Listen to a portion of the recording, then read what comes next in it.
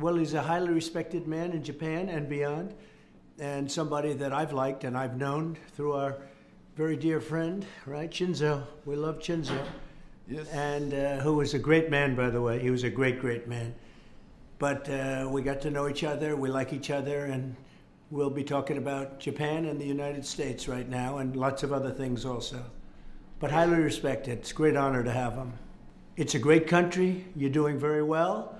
Uh, Shinzo was a great friend of mine. He was a great, he was truly a great man and somebody that we all respected and we really loved. And uh, I miss him greatly. I miss him greatly. But uh, we really admire the people of Japan.